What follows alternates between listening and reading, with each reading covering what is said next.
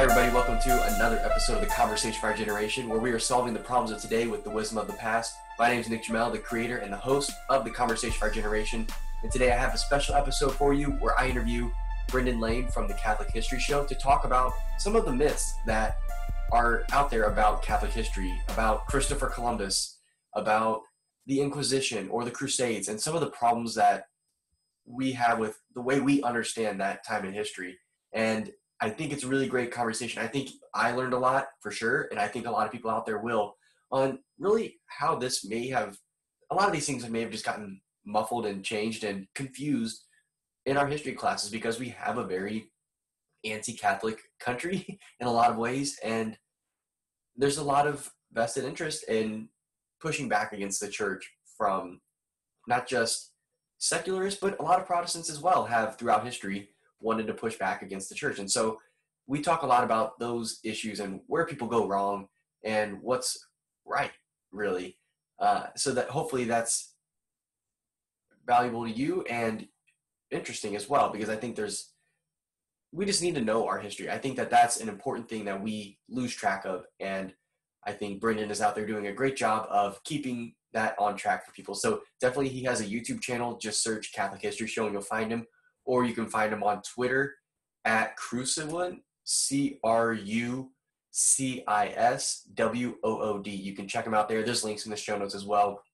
And just a reminder that you can check out the Conversation of Our Generation at conversationofourgeneration.com. Go to the podcast tab to see wherever the podcast is being recorded. If you're listening right now, leave a good rating and review because I really appreciate that. Definitely, we have a YouTube channel opening up. You can search that. You can go to Twitter at Colin of Argent to follow me. Lots of great stuff happening there. Or on Facebook.com slash Conversation for Our Generation to keep up with the latest on the Conversation for Our Generation. And so with that, I'm going to hop on over to the interview. Hey, Brendan, thanks for coming on today to the Conversation for Our Generation. I appreciate it. Sure. Yeah, no, thank you for having me. Awesome. And so do you want to give me a little bit about you and what you're doing over at the Catholic History Show? Sure. Um, like I said, my name is Brendan. Um, oh, 2008 to 2014, I was in the U.S. Navy. Uh, and during that time, I reverted to the Catholic faith.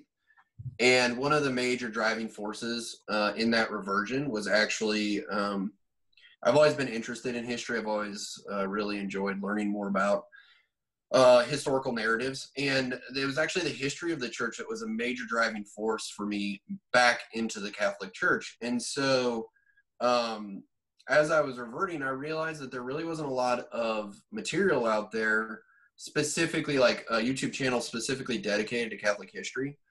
Um, and so I kind of wanted to do that. That was back in, I think, 2015 uh, when I started the channel. And it's a tiny channel, it's not very big. Um, but I started when I was at school. After the Navy, I got out. I uh, went to Franciscan. I studied theology and finance.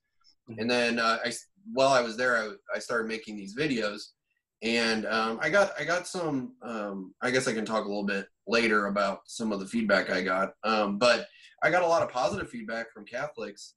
Uh, so you know, I continue to do that. But then you know, things come up in life, so they they became more and more sporadic. And then, anyways, after I left Franciscan, I, uh, I uh, became a teacher at a, uh, a, classical school in Williamsburg, Virginia. Um, and it was actually the videos that I created on YouTube that got me the job. It's how I got on their radar. They reached out to me.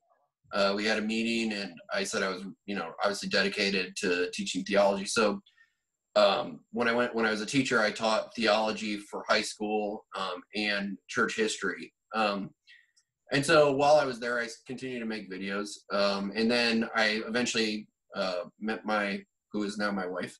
Um, and uh, we got married and I moved out uh, into Western Virginia. And I, uh, you know, I, I stopped teaching because I couldn't uh, find a position in teaching. And, you know, I've kind of shifted careers, but I still continue to make videos because of, of just how much I enjoyed doing it. And uh, a lot of the positive feedback. Actually, I, I guess I can talk about it right now. It's actually a lot of the negative feedback that really drives me. I get a ton of negative feedback from uh, Protestants, and um, actually, my tagline for the show now is, uh, you know, Protestants probably do not love this show because uh, I've just gotten so much um, negative feedback. But I thought, you know what? Um, I'm Catholic, and I, I love being Catholic. Um, and I'm and I'm in in a way, obviously not in a negative way, but in a good way, proud to be Catholic. And I think we should should uh, you know tell the great stories from the church's past. And I, I want to make a distinction here too. The the Catholic History Show is specifically uh, Catholic history. It's not necessarily church history. Obviously, those things intertwine but I kind of focus more on how the church um, is seen from a larger perspective. So I don't obviously councils and things like that. I talk about them, but I, I try to stay away from theology because I don't have a doctorate in theology.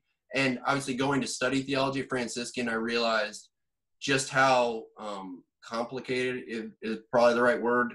And obviously, there's a there's a I it's not saturated, but there's a huge market already out there filled with people making um, Catholic theology videos. So that wasn't really what I wanted to do. So the Catholic History Show really focuses on um, you know kind of uh, more socio-political plus how the church interacted in that way. So anyways, that's kind of who I am, and that's what the Catholic History Show is all about.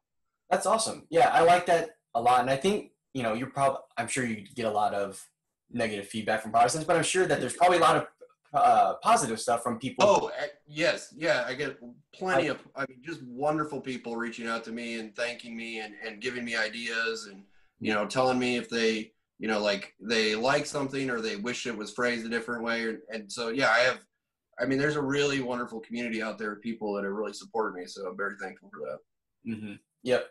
No, I I like that a lot and I think that it's good to with how much the church was instrumental in really about 2000 years of European, Eastern, you know, like the Middle East, North African history.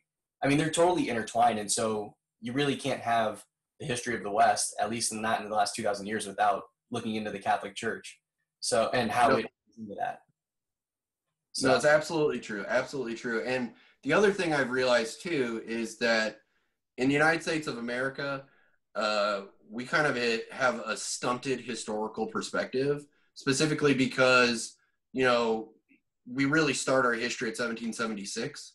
So we don't get to see the buildup of Christendom. I mean, Christendom is in its waning, waning years at that point. You know, we have had the religious wars after the Protestant Reformation. So we don't really get to see the the the culmination of Christendom um, in the way that you know maybe Europeans get to see it. So I also thought that was an important perspective, and I try to kind of bring that into the videos that I do. Yeah, I mean, if you look at look at it, twenty years after our revolution, France turned atheist, and yeah, exactly, exactly. So that's the context we come from, and you know, I know that I've been a couple times to Spain and to England and Ireland, and when you go there, the difference there's a big difference between what they think of as an old church and what we do. Like here in Indianapolis, we have a hundred year old church where I go, and it's a beautiful, old, like classically built church. But that's relatively new as far as Europe standards are. You you can go into a thousand, you know, fifteen hundred year old churches easily that are pretty much the same way they were when they were built. So, that's yes, yeah. No, you're exactly right. Exactly right. Yeah. Well, so I'm glad to talk to you about this a little bit too recently because so my work where I my other job is full of people who are very PC. And on Columbus Day, as I like to celebrate it, Columbus Day, um, yep. we had you know like we're talking about you know thankful for Indigenous people and stuff like that. I'm just, I was I didn't like push back or anything. I'm like whatever if that's technically what is the national holiday now, whatever. But I also was like, hey, here's Christopher Columbus's tomb. Just thought this was a cool thing to share with you guys, and I just noticed this today. I just pushed it out there in our little Slack community because I think that it's also good to remember him and him. I, I mean, flawed man for sure, but a really good and faithful Catholic in many ways. And I think that he, there's a lot of problems that we, with the way people understand him today and a lot of misconceptions.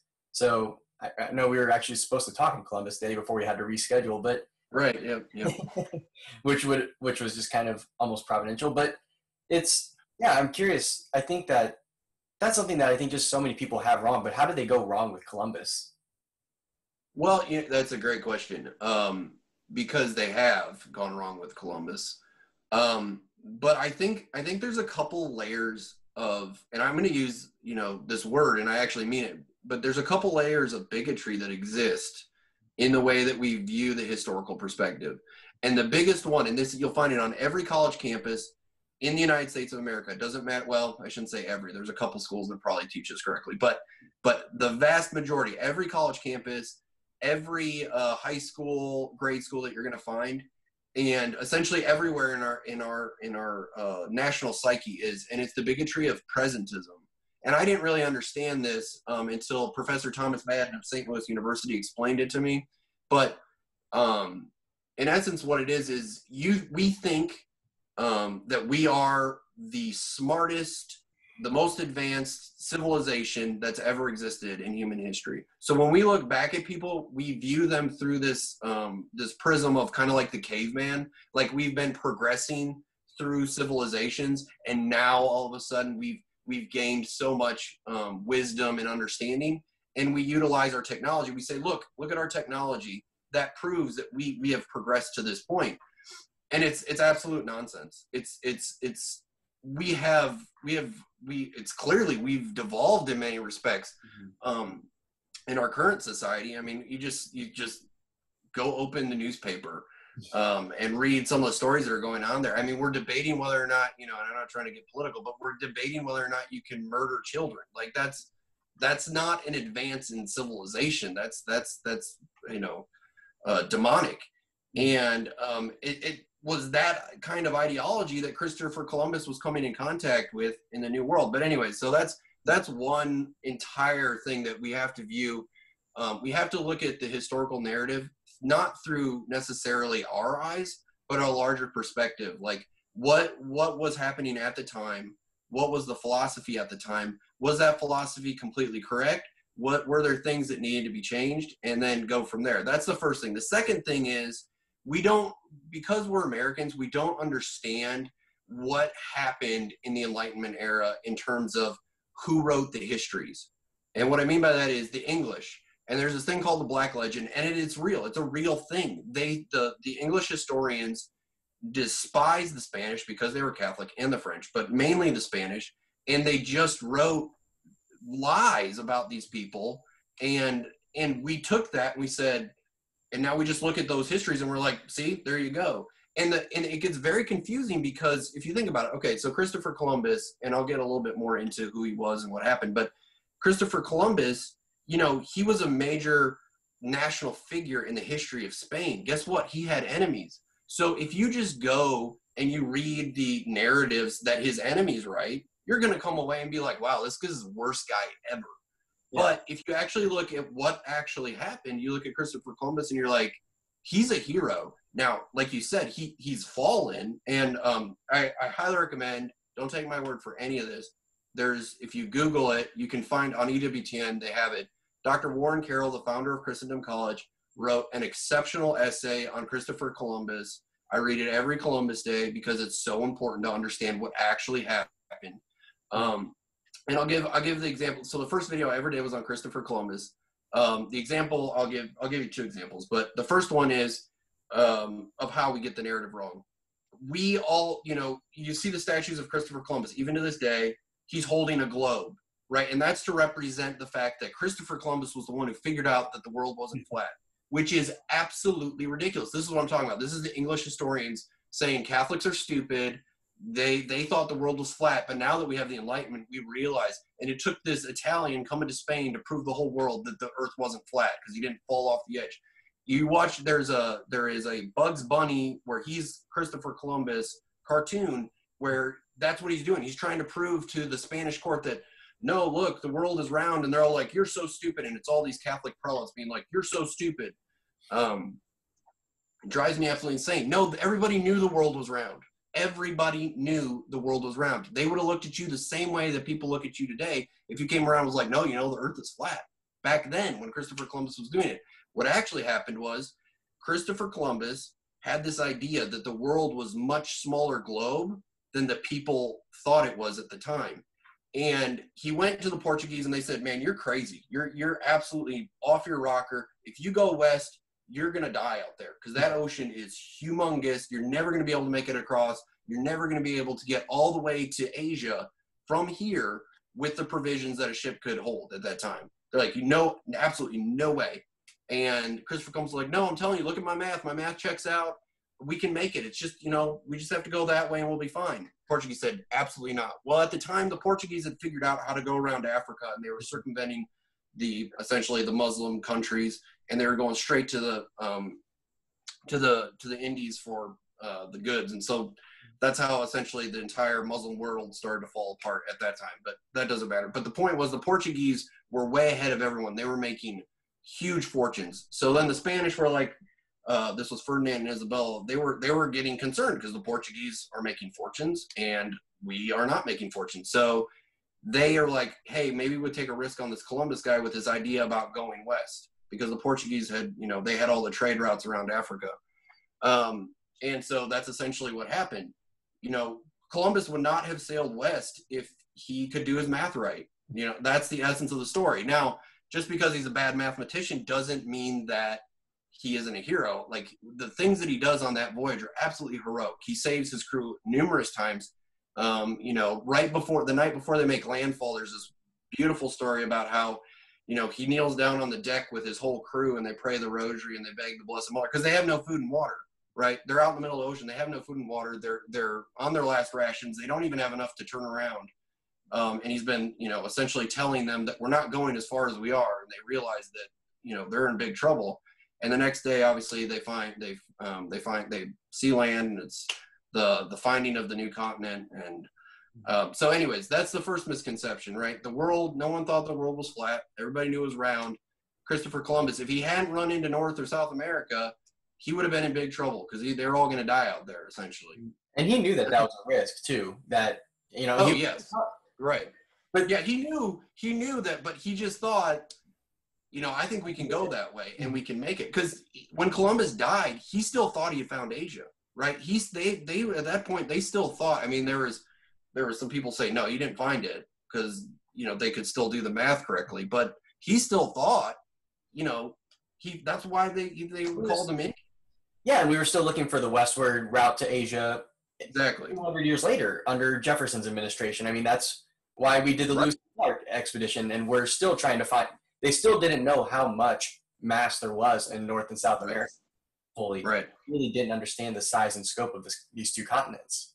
Right. Yeah. Exactly. And so the first thing is he is a discoverer, right? Whether people like it, oh well, there were there were Native Americans here, there were Indians here obviously he didn't discover anything. Well, no, that's not actually true because the Europeans didn't realize that they were there. He discovered them mm-hmm. for the Europeans. So, it, anyway, so that's the first thing. The second example, I'll make it quick, is they say, you know, he he had all these slaves. These and they, they I mean, they they come up with some very bizarre situations where he's like transporting sex slaves back to Spain. And first of all, that's not true. Um, the problem was he put his brothers in charge as governor uh, when he when he came back over the second time, and they they got into trouble um, with the Native American tribes there. There were a couple of tribes. Obviously, the Aztecs were depraved on a mass scale. Um, but the first time that he came, the Indians that he met were completely overrun by the second time he got there, to the point where um, they were being when he came back. The the new Native American tribe that had had arrived, they're called the Caribs that's where we get the word uh, Caribbean from. They were cannibals and they were eating the people that had been there previously. So it wasn't like these were some just peaceful, you know, regular. They just wanted to live their own lives. I, th- these were seriously. Um, I hate to say it because it sounds so un PC, but this is depravity. You you can't have civilizations sacrificing other human beings and eating other human beings, and we should just say, well, you know, that's just their culture. Um, you know, that's great. And I, I that's so that's a that's the other kind of um, um, misconception that we face today. And this kind of this actually applies both to uh, the Crusades and the Inquisition, which is, um, you know, the United States of America. Obviously, in the last you know 80 years, we went through the civil rights movement. It was a phenomenal movement. You know, we we recognized a fundamental truth that man uh, has equal dignity across the races. This is this is obviously this is profoundly Catholic teaching, um, and it is it is true. It's a true statement. But what's happening now, or has been happening since you know our lifetime, has that we've extrapolated that idea to that the equality of dignity and culture and religion and you know pick whatever whatever thing you want to pick. And we just say everything's the same you know feminism um, is the same thing. And and it you know feminism is a little different but no cultures are not equal in dignity. Mm-hmm. there are some cultures that are better better than other cultures. And if you don't believe this you actually don't believe in christianity because this this is fundamental to the christian um, uh, the christian doctrine you you can't believe that to be a christian is the same as being a buddhist or is the same as being a muslim now you as a Christian can, you know, obviously do things that are sinful and wrong like other religions, and it doesn't deny people salvation. But but to li- the doctrine and the dogma of the Catholic faith is is God's um, you know intended culture slash religion. I actually I should say religion, but then the culture that comes out of it, namely Christendom, is the fulfillment in in a societal way of those doctrines and dogmas. And so that's something that we have gotten completely wrong in our modern mindset that cultures are not the same. They're they're not. There are some cultures that are better than others. And i'll be the first as an american to say there are cultures that exist that are better than our culture. You mm-hmm. know like there there are things that i wish we could really in other countries be like i wish we could be more like those guys in this mm. this regard or that regard and so um, i think that that's a major misconception uh, that we face today is no no not all cultures are the same. And obviously, Columbus is denigrated because obviously he didn't believe that. The Spanish didn't believe that. No, it's better to be Christian than to be pagan. Mm-hmm. Yep. Yeah. And I think that it's, people don't want to make that truth claim either that, you know, one set of ideas can be true objectively, right? It's, there's a sense that we want to have this relativistic uh, right. way of like, I'm living my truth or whatever that is. And while you have your experience, you're not allowed your own set of you know objective truths you know right. two plus two doesn't equal five for you and six for someone else it's the same yeah. principle you know across time and, and, the laws of physics don't change for any one of us and most right. people i would say most even of the relativist people will would agree that like science has set principles and exactly.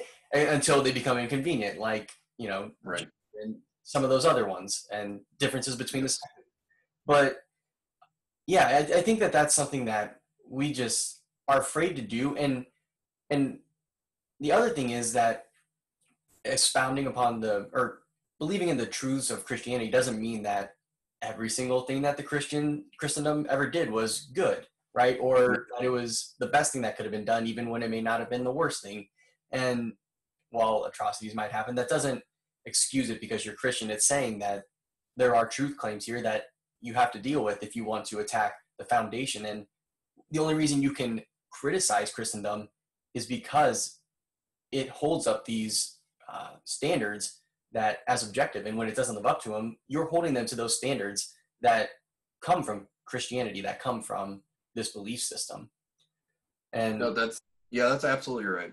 And, and so they're like holding you. It seems like people today, the secularists, are holding Christians to a bar that you know we set for ourselves that we may not always live up to but then they also don't believe in right they're saying right and and so it's it's sort of i don't know. I, I guess hypocritical is not necessarily the word for it but it's really a weird set of standards that are if, if everything is my truth your truth then why does it even matter if i live up to these standards that i set for myself? Yeah it, it, it's you're exactly right. Um you know obviously i agree i agree that as as catholics as christians we we have to hold ourselves to a higher standard which is why i love doing the catholic history show because you know i don't have any problem being like okay what columbus did when he came back and he was sick and he he did he had he got a thousand slaves of the or he captured a thousand indians he turned them into slaves. Uh, he was brought back to spain and put in chains um, and well, under arrest for doing that. You know why? Because Queen Isabella was saying, no, these are these are my subjects, and no, none of these subjects will be enslaved. Right. So we're talking about we're talking about in the 1490s an anti-slavery doctrine in a Catholic uh, regal court, mm-hmm. and you know we're talking about the emancipation of the slaves in 1863 in the United States of America, and yet Columbus is this horrible, terrible person. Well, Queen Isabella realized this truth a couple hundred years before um, the United States had the American Civil War. Like, you know, you're exactly right. We have to hold ourselves to a higher standard. Christopher Columbus has to be said, you know, what he did in certain circumstances was the wrong thing. But we don't, we shouldn't be ripping down statues of people because they're sinners, right? This, this is a, this is another fundamental problem of our society is, hey guys, um, judge others the way you want to be judged. You're ripping statues down of people for a perceived um, indiscretion, and it's like, what what do you think's going to happen to you at the judgment, right? When when uh, you have to come before God, you you you're perfectly good.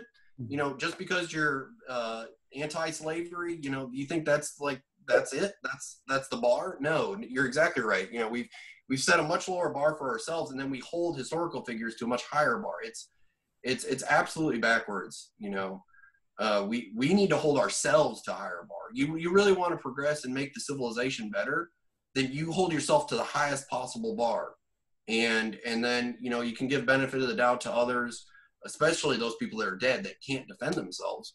Mm-hmm. And you know you hope for you hope for the best. And if we did that, if we held ourselves to the highest possible standard as a society, you would see amazing changes in our civilization. Absolutely amazing, absolutely amazing changes. But mm-hmm. You know, I agree.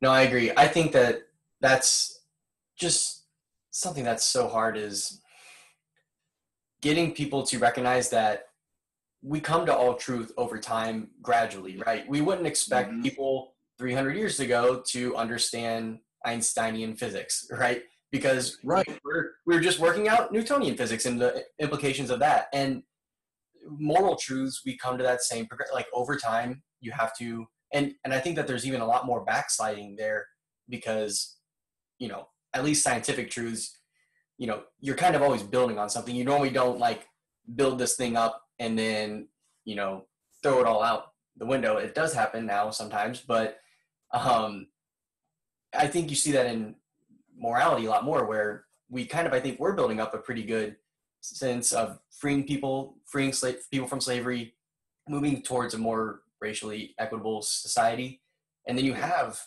the holocaust you have you know the regimes of china and yeah. the ussr in the uh, to, or in the 19th or the 20th century and i think that i mean that's pretty grave uh, problems. And for these people who are tearing down a Columbus statue and not a Stalin statue, I think right. you have some questions that you need to ask yourself. yes. Yes. There's problems, uh, obviously, with what Columbus did.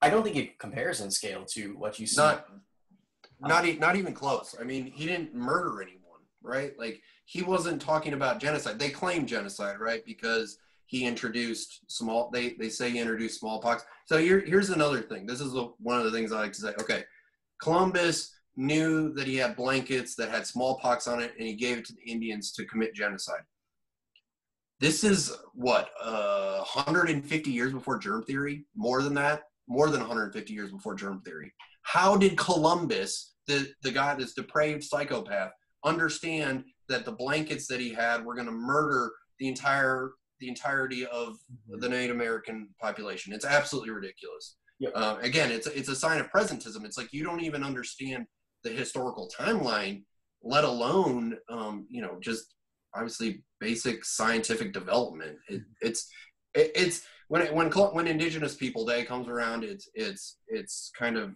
it's very aggravating because it's like, come on, like we're better than this. I'm not saying we shouldn't, um, and I have you know family that uh, I Native American family, it's I'm not saying we shouldn't celebrate the Native Americans in certain respects. There are some Native American Indian tribes that did some amazing, wonderful, beautiful things, and we should hold those up. But this idea that all the Native Americans were great and this white supremacy psychopath uh, from Spain, actually, he's Italian from Spain, mm-hmm. uh, came over and just tried to commit genocide on everyone. It's it's absolutely ridiculous.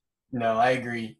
Yeah, and so I kind of want to pivot actually to another topic sure. that we mentioned. Um, one that I think is very, very controversial, which is the Crusades, because I think that so my mom is actually a Spanish teacher. She so we, she knows the history of Spain very well, and um, 1492 is not only notable because of Columbus set, setting sail, but in Spain, that's when they finally kicked the Moors out, um, right. where, where they'd been conquered. That was um, it was from 711 to 1492 that they were under Muslim rule, and I think that one thing that I think people don't realize is how much of the Roman Empire that had turned Christian, that was peaceful Christians, mostly peaceful, you know, right? Unlike mostly peaceful protests, it was yes. actually the time of all along northern Africa and all along the Mediterranean that was Christian or Jewish, largely um, obviously around Judea and everything. But then when the Muslims came in, really tore apart and conquered all of northern Africa, much of uh, you know Spain, and all sorts yeah. of other parts.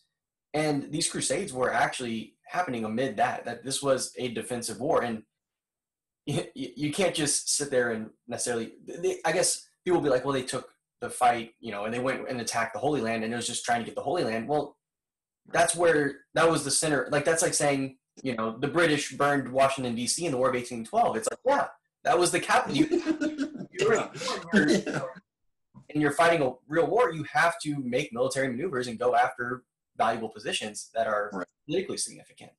Yes. And I, it, it, it, I just think that there's, um, well, you can tell that first of all, our generation, at least my generation especially, has a very, very low enlistment record. And I can say I've never served in the military, mm-hmm. but we don't understand what it's like, I think, to live yeah. in. You said you were in the Navy, right?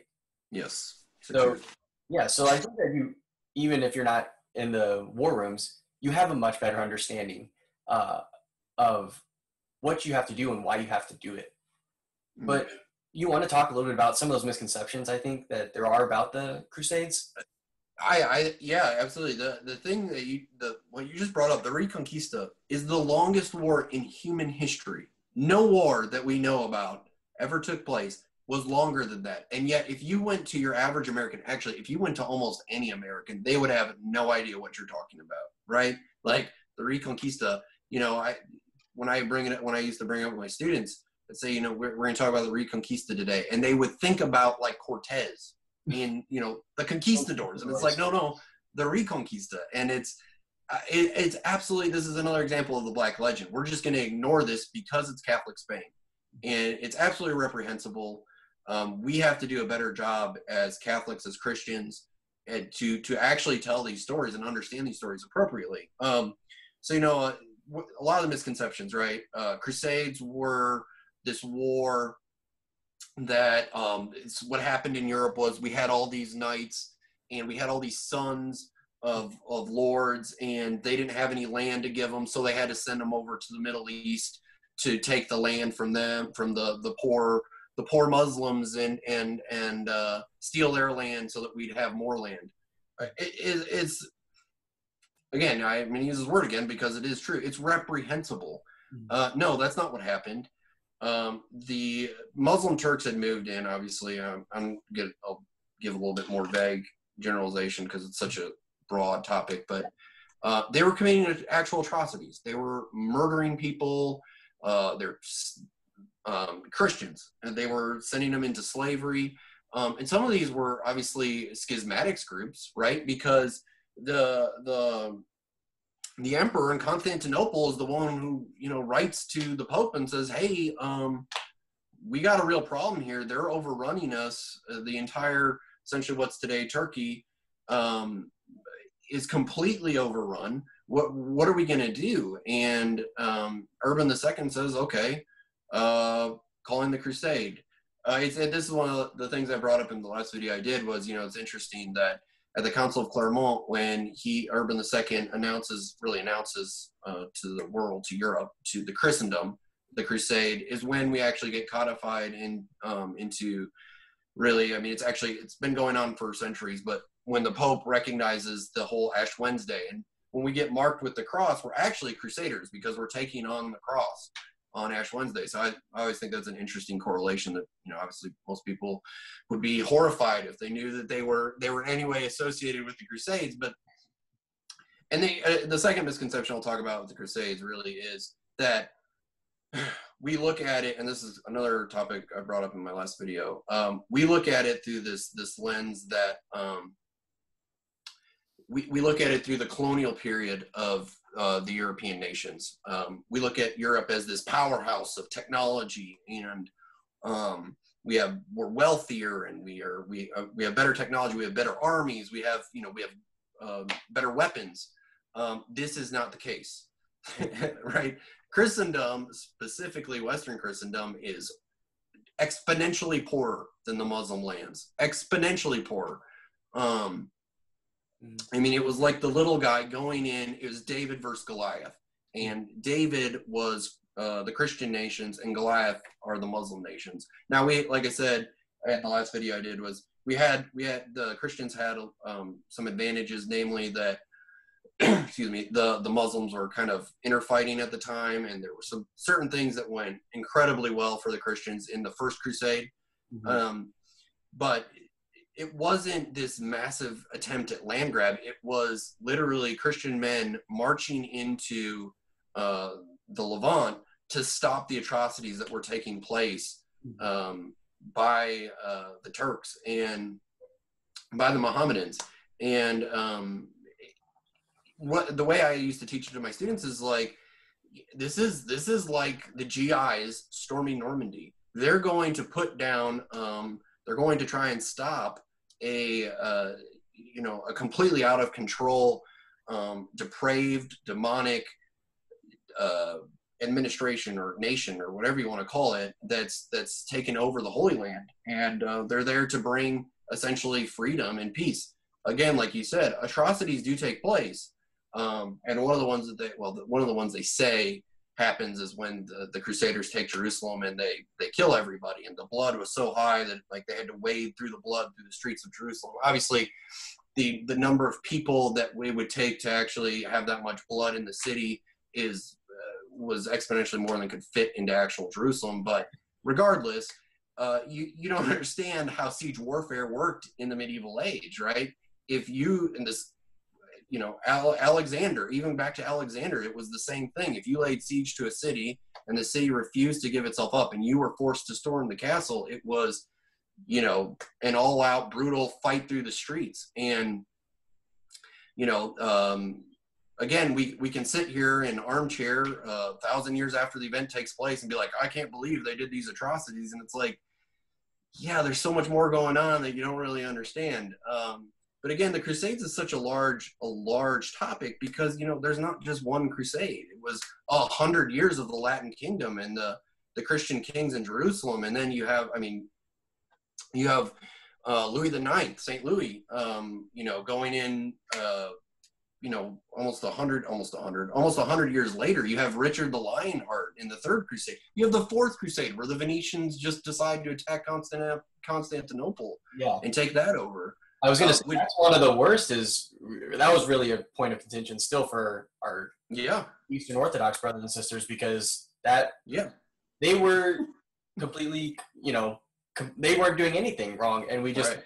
swung up and we just our Christian brothers. and yeah, I, I think that of all the Crusades that or of all the problems that the Crusades had, that to me is one of if not the worst thing that the Crusade right. did really. Yeah, no, I, I agree. I agree 100%. Um, you know, but not to not to take away from that, it it what they did was wrong. It was the wrong thing to do.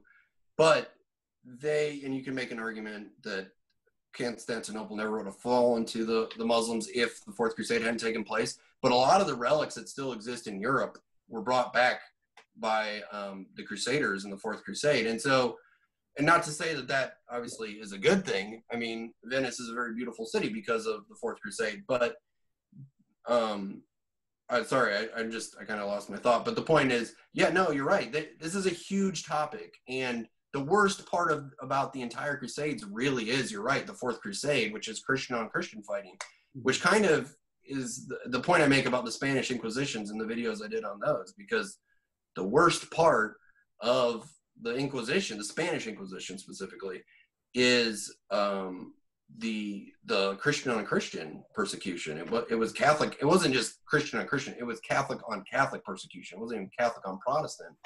And again, an, another uh, ridiculous misconception that exists in our world today. But yeah, no, the Crusades are such a huge topic.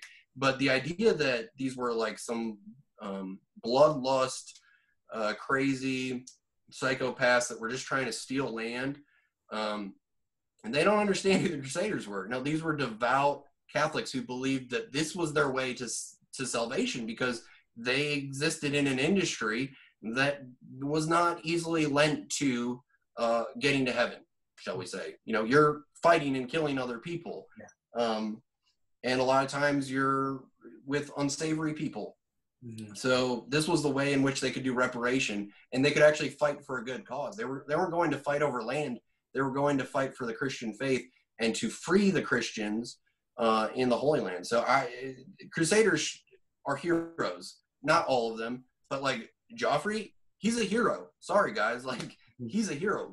We have a saint who's a crusader, right? Saint Louis is a crusader. I mean, uh, anyways, it's it's it boggles my mind that people it's drive-by history is what it is. They just like, oh, Christians bad, Europe bad, colonialism bad. Like, okay.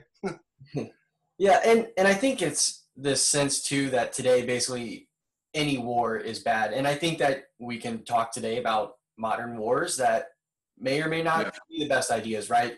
Maybe what we did going into Iraq wasn't the best idea. Maybe we what we did going into Vietnam wasn't right. Or what you can have qualms about that, but I think that it seems like everybody is just completely pacifist and I'm and I wonder if they would have that tune if they lived, you know, during the War of 1812 or if they lived during times when you know it wasn't very easy to sit back and not have to participate in these things and you weren't under attack like you know if you lived in britain in 1940 1942 you know i think you'd have a very different look at what war is and why you need to be ready to take part in a war uh, if right. if it's necessary and not that we want that but right when it's thrust upon you, you have to defend yourself. And whether that's an individual, you know, attacking you and you have to defend yourself or right. Uh, your nation as well. No, you're you're 100% right. I think and this is one of the the the uh, things I think Americans really need to wake up to the fact we have the luxury of being pacifists since 1865.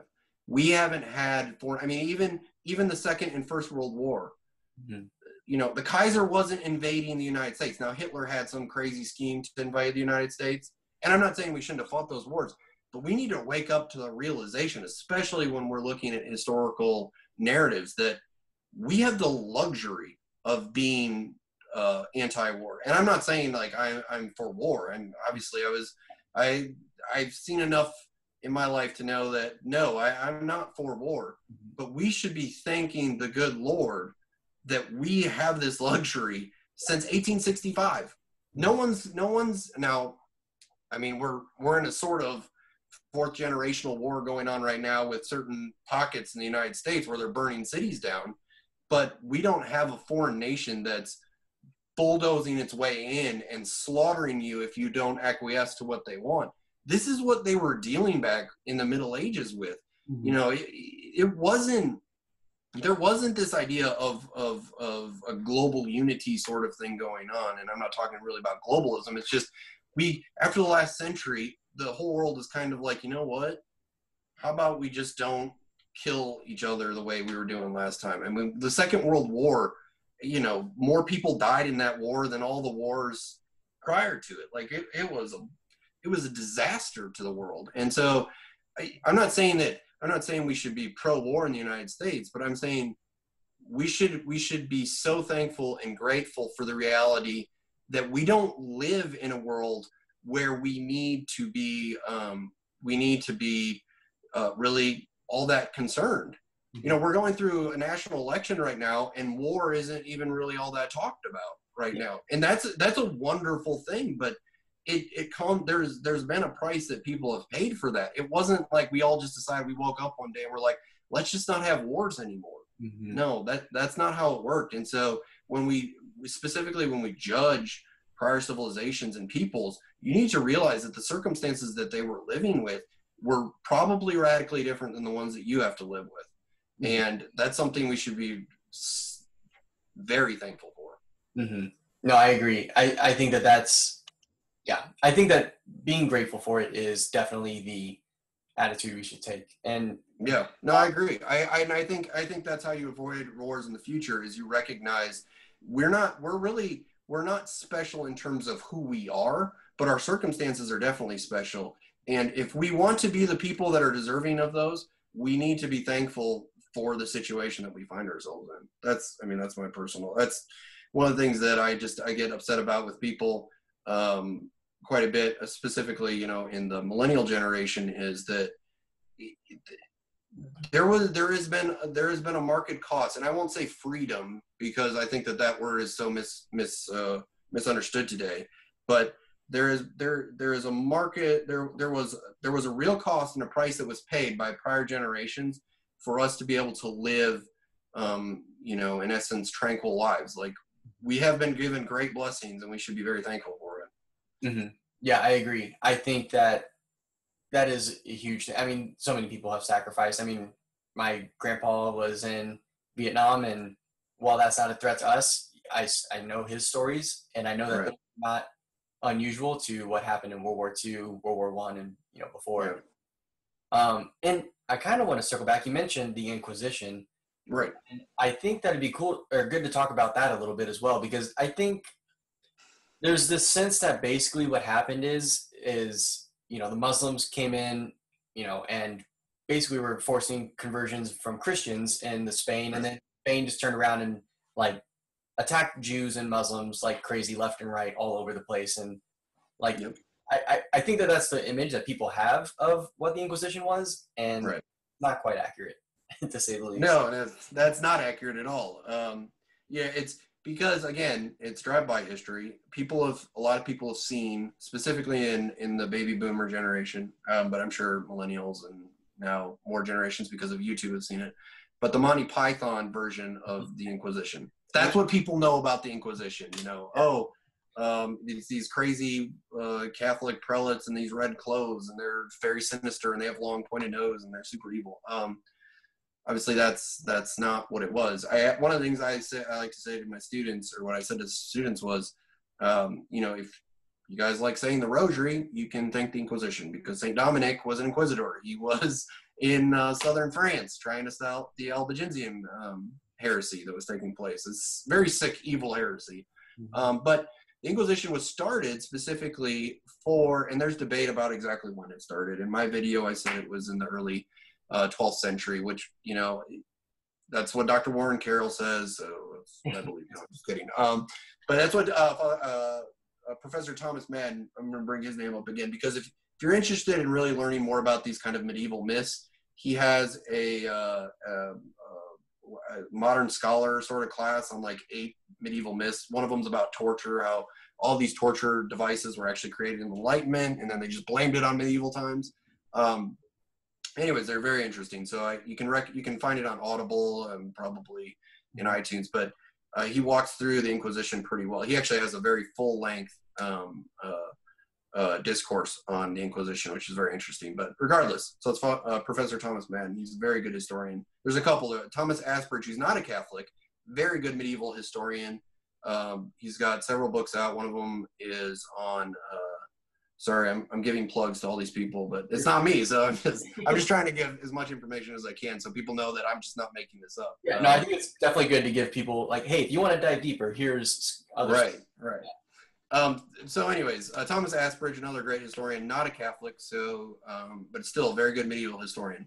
Uh, back to the Inquisition, though. Inquisition was started specifically as a pro-life movement right? It is a pro life movement. And I actually did a video on that and people lost their minds. I don't know if they watched the whole thing, but I got a lot. You can go in the comments, you can see, like, how dare you say this is murder? These are supposed Christians.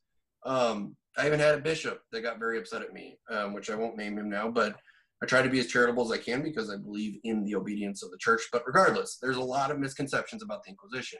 Um, I say it's a pro life movement specifically because, right, during, um, we'll say, early medieval times, uh, we'll say 11th century and on, um, it actually goes back further than that, but it's easier to kind of understand the medieval period, obviously post uh, Charlemagne. And I like I like to I like to talk about it post uh, 1066 when obviously William the Conqueror, mm-hmm. because before that it's still pretty bad in Europe. But regardless, medieval period, um, the heresy is a capital crime. Mm-hmm. Uh, you will be executed um, by the state if you are a heretic. Um, this this might seem barbaric or um, insane in some respects, but it, it it was it was considered a capital crime because if you didn't if you didn't recognize uh, the authority structure that was given to the European state um, coming from God, uh, not not not divine right of kings, because that that's actually not a medieval yeah. not a medieval philosophy at all. Again, another misconception. But if you didn't understand that that that um, that right the Christian basis was how we based our entire civilization, you were a real, real threat to um, the the state. And now you could say, well, why can't you just let some some heretic go live in peace somewhere else? They did. They did that all the time. Like if you wanted to go be a crazy hermit and live in the forest, or even live in town and just like keep your ideas to yourself, you're going to be fine. No one's going to kill you. No one's going to execute you. Um, but the problem came when people would go into the, the streets and say, no, the church is lying. It's all fake. The king isn't real. The Lord isn't real. Well, now, now you're really, you're, you're um, exhibiting um, uh, sedition. You're, you're committing treason. So they would execute you. Well, you know, that's fine. And we can debate whether or not that's appropriate. And that's, again, that's fine but what happens when you're in a civilization when you know your lord or your king uh, doesn't even really know how to read or write not saying that they're not intelligent but they they don't have you know the ability really to do their own studying specifically when it came to ideas in religion mm-hmm. so what happens is and this is what happened you had say you're you're a guy and you're walking you you own a big farm and your neighbor next to you has a smaller farm and he wants your farm. What is he if he's not if he's not um, a good guy he goes to the lord and's like hey my neighbor with the big farm he's actually a heretic. So they bring you into court and they line you up and they're like are you a heretic? You say no i'm not a heretic.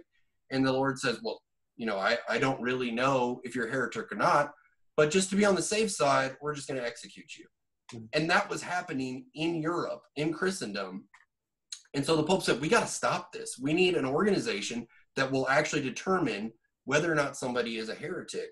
And that's how the Inquisition was born. And it it performed its job very well. Um, you know, the Albigensian Crusade is a crusade most people don't even know about because of how well the Inquisition worked in the southern part of France. It was a massive revolution that was taking place where it, I mean, it was Gnosticism and it was completely insane and it was excuse me, it was it was very very bad heresy. Um, you know, it it taught people to try and almost starve themselves to death because the physical world is is mm-hmm. evil. Um, it it did horrible things to women, um, uh, subjecting them to all kinds of uh, essentially torture is what it is. Because as a woman, you were seen as evil because you would entrap souls into physical bodies. I mean, it was a super evil heresy.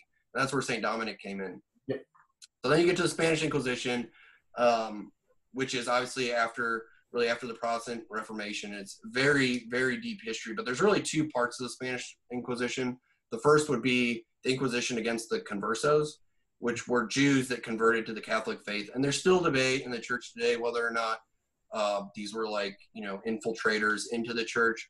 But really, what happened was when the Black Black Plague um, came into Europe and was killing everybody, one of the biggest scapegoats were the Jews.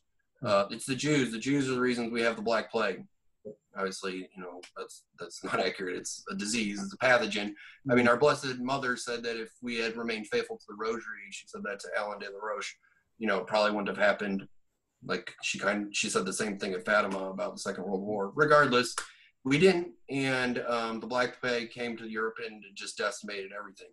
Um, throughout, you brought up the Reconquista throughout European history, Spain was the center for um, uh, Jewish refugees. There were two centers. Spain was one. The second was the Papal States. The Pope always allowed the Jews to come into the Papal States when they were being kicked out of the other countries, specifically England and France. They were doing it all the time. They were kicking them out, bringing them back in, kicking them out, bringing them back in. Um, and Spain was the second one because the Spanish realized when they were going through the Reconquista, we can't we can't afford any more enemies. We already got the Moors. That's enough. You know what? You Jews, you want to come here, you want to have your own little uh, religious services and have your own communities. That's fine. You do that. Then the Black Plague comes and everyone freaks out. And there were there were people that were going around and they were force converting Jews into the Catholic faith. This was not the Inquisition. The Inquisition was not doing this. These were Spanish people that were like, we can't have any more Jews. You can go and you can get baptized or you can be executed. Yeah. Most of the Jews were like, It was, sec- it was not the church hierarchy. no, no, no, no, no, no, no. Yeah, That- this was secular, secular organisms, people, yeah, doing that. Yeah. Um, yeah, it was not the church that was forced baptizing people because obviously that's against the Catholic faith. And once everything, once everything calmed down, the church went back to these conversos, these co- forced converts, and said, "Look, you're not held to this baptism because you were forced to do it." The church, the church recognized that, and uh, the beautiful, wonderful thing about it, if you you know you you want to say that, there's probably some cynics out there would be like, "That's horrifying," but the vast majority of these people that were forced converted wanted to remain in the Catholic faith Mhm. and it tells you about um, the efficacy of baptism. But regardless, they stay in the Catholic faith, and then they start rising up into positions of power. And eventually, what happens is you get uh, people kind of two camps um, in the regal court, and excuse me, you have one camp which is people that have been Catholic, they're, you know, they're all their generations. Then you have these people that have been maybe they're like one generation away from these people that were Jews prior, and so there's this animosity that builds between the two of them. And so there's these claims that are made that these forced converts are actually infiltrating the the uh, the state, and they are um, they are causing problems, or they're trying to destroy the Catholic state from within. These are fake Catholics. These are former Jews, and they're you know doing all this. But they are Catholics. I mean, say what you want. Um, obviously, again, there's people that that disregard this and say no, the infiltration was real. Um, so then the Spanish Inquisition kicks off. This Spanish Inquisition, uh, there are atrocities committed. But this the important distinction is this is actually not ecclesiastical inquisition. This was a secular inquisition. There were um, ecclesiastical people. There were clergy, some clergy on the Inquisition, but it was being run by the state. It was not being run by the church. And the Pope puts puts a stop to it. Says, no, we're not doing this. We need to have. If you want to do this, we need to have an actual inquisition. Inquisition. Um, and of course, when when it actually got under control, when the when the papal legates came in and reformed the Inquisition, guess what? All of a sudden, we stopped killing all these conversos. That was the first one. The second one was the the Spanish Inquisition against the Protestants, where almost no one was executed. Um, they burned a lot of Protestant books, um, and uh, they you know they put they really uh, codified in Spain and then eventually the Papal States. I Actually, I think it's Papal States first and then Spain. Um, you know the index of prohibited books, which we had until the 1960s. Yeah. And uh, so anyway, so that's kind of the Spanish Inquisition. It's very much misunderstood. There's you know decades of history there that need to be understood before you really before we really talk about the Spanish Inquisition. But it wasn't it wasn't evil. Um, it was an organization that was trying to prevent uh, the um, distribution of false teachings. And guess what? We still have it today. It still exists today in the church. It's just called the Congregation of the Doctrine of the Faith. Uh, their job is to prevent uh, false teachings. Now, you know, it, the Inquisition um, used to be more focused on just broadly like uh, refuting Protestant errors, but that was before the really the understood of the break um, between uh, the Christian faiths. Um, you know, for a period of time there, the Protestants were claiming to be the true church. Obviously, they they still do to a certain extent, but Catholics realized no, you know, they're Protestants. They're protesting against the Catholic Church. Um, but the CDF still exists today. It's in the same buildings uh, that you know the Inquisition was in for now a couple hundred years, um, and uh, you know it's it's sure any organization. I this is the example I give. I think one of the videos, and I used to tell me any any institution can commit bad acts. Mm-hmm. But it doesn't mean that we the Inquisition or the the institution itself is bad. For instance, the State Department. There's plenty of things the State Department does that are completely wrong, the wrong thing to do. Should we just you know dissolve the State Department? Does it not serve any function? Um, and it, the Inquisition is the same way. No, it, it, it, serves a very important function in the church, which is to to explain um, to the faithful what the true teachings of the church are. If you don't have that, then who knows what's true? You know, um, we need that teaching authority in the church, and that's why we still have it to this day. So, you know, obviously, they're what they did to the conversos. I'm not obviously were was the wrong thing. Mm-hmm. Uh, I will defend the Spanish Inquisition every day of my life against the Protestants because they didn't kill anybody. I mean, they killed I, I don't know, maybe 15 well, people were executed. Many of the Inquisition courts, from what I've heard too on Catholic radio, is that sometimes people were like being they were in a secular court for some other crime and they would commit heresy in the court so they could go to the inquisition courts. And a lot of times yeah. you would just renounce your heresy they would let you live out your life on a monastery.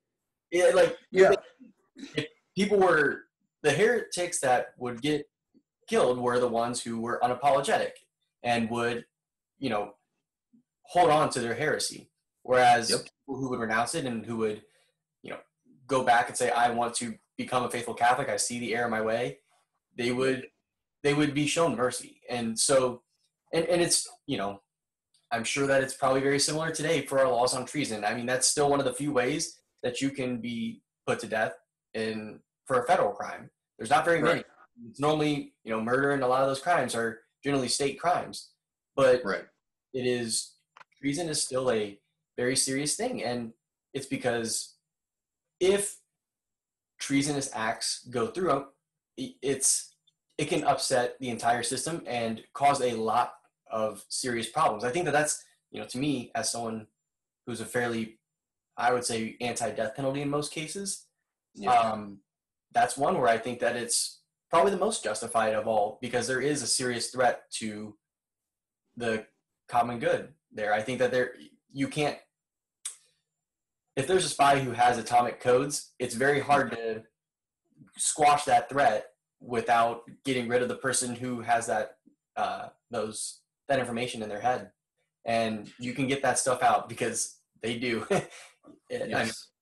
Don, mafia dons have been running organizations from jail for a century now. It and it true.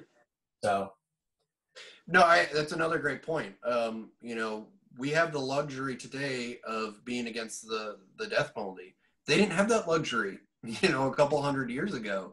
Um, you know, we could say all day we need, you know, different um, reform movements and things like that. And I'm and I'm all pro reform. And I mean, I deal with the justice system all the time now in my new in my new job, but um, and it's very broken. I will be the first to attest to that. It is an incredibly broken um, situation, but we have the luxury of being against the death penalty, and it's a wonderful luxury to have.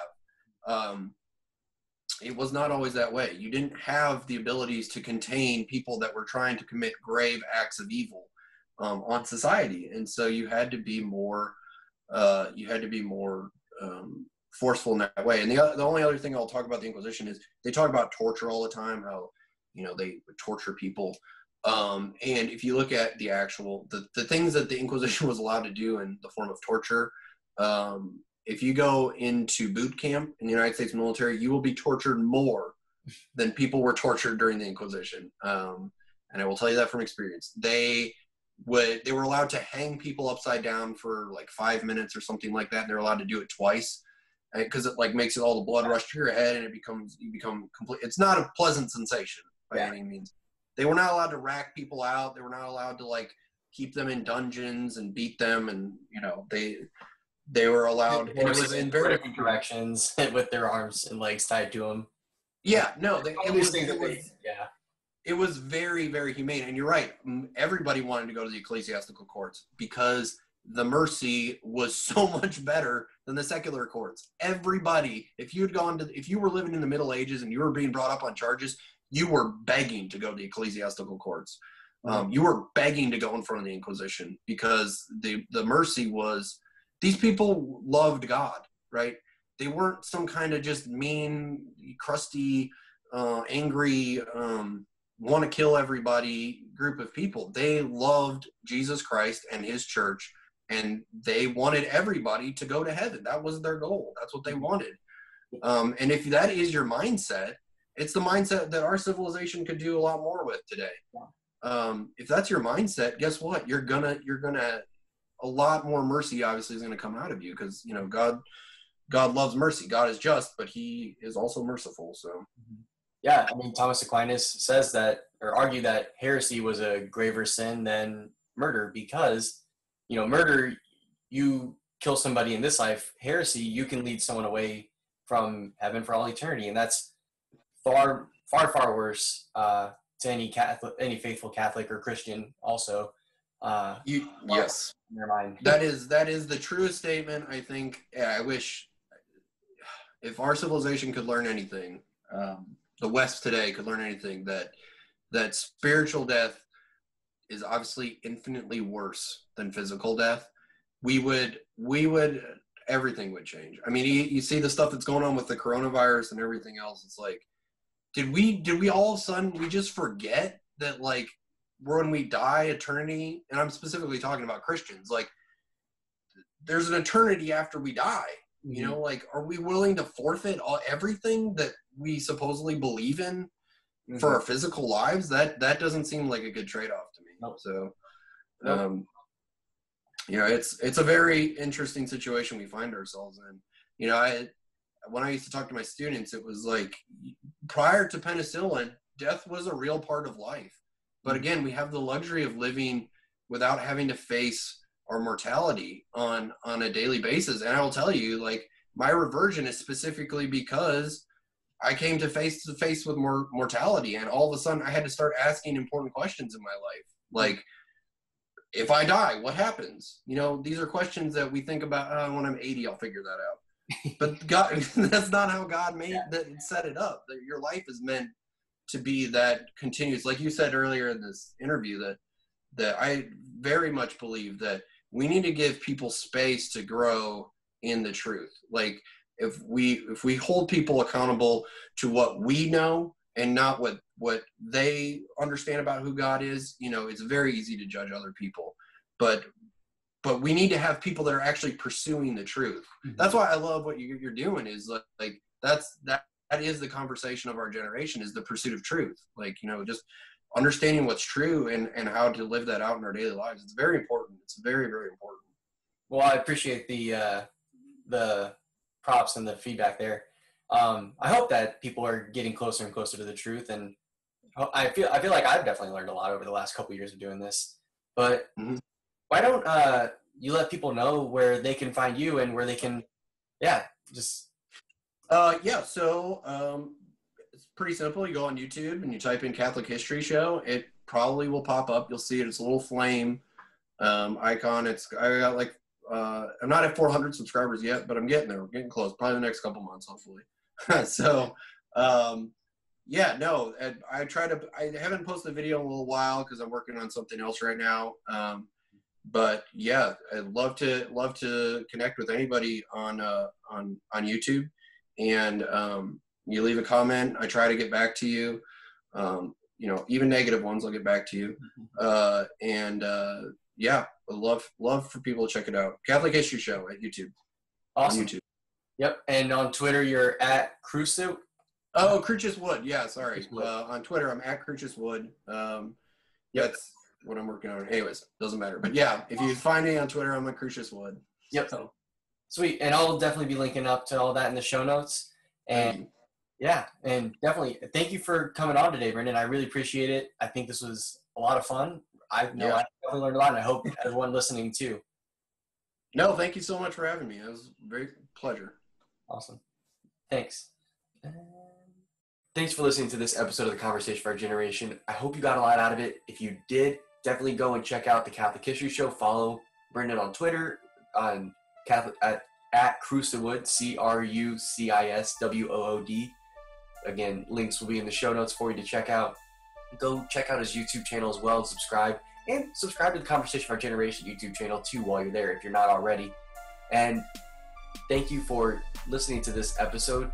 I recommend if you are enjoying these, let me know if you see other people out there who are doing interesting stuff and you want me to talk to them, point them out to me. Let me know on Twitter, Facebook, you know, contact form on my website, just conversationfourgeneration.com slash contact. I'm always looking for some great stuff. I have another interview coming up next week that I think will be really entertaining and interesting. And I'm going to be guest spot on uh, some other podcasts as well coming up soon, including talking to the Vital Masculinity guys. So it's always fun to have a conversation with them. And yeah, just keep keep those coming. Keep keep listening. Keep letting me know, giving me feedback. I really appreciate all the feedback I've gotten so far.